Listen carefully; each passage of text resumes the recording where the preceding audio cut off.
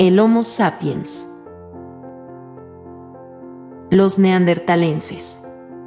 Llamados también hombres inteligentes, aparecieron en diferentes lugares de la Tierra en diversas variedades. El hombre de Steineimensis. El hombre de Neandertal. El hombre de Steineimensis. Habitó Europa central y septentrional, Alemania, Inglaterra, Francia y España entre los 300 a 200 mil años antes de Cristo, con características muy similares al hombre de Pekín. Con 1.350 centímetros cúbicos de capacidad cerebral. Utilizaba hachas, cuchillos y raspadores de piedra. El hombre de Neandertal aparece entre el Polo Norte y el centro de Europa, extendiéndose por todo el continente, además de Asia y África, era diestro y astuto cazador con características muy parecidas al hombre actual. 1.6 metros de estatura promedio, robusto y musculoso.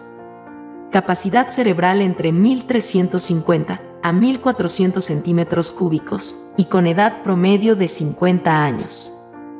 Sus primeros restos fueron encontrados en 1856 en el Valle de Neander, Alemania, asignándoles una antigüedad de 150.000 años y se extinguió hace 30 a 35.000 años.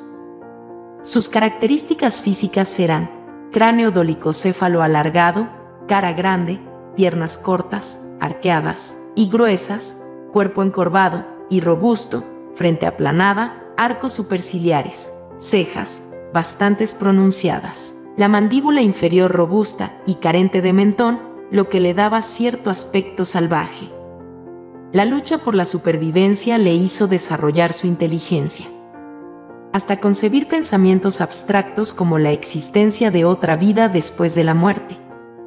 Por eso enterraban a sus muertos con alimentos y armas.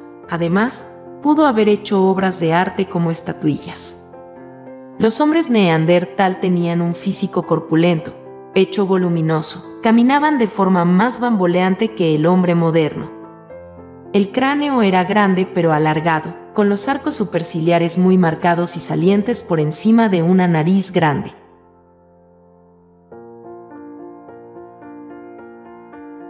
Comparte, comenta, dale me gusta y suscríbete al canal para seguir aprendiendo sobre historia.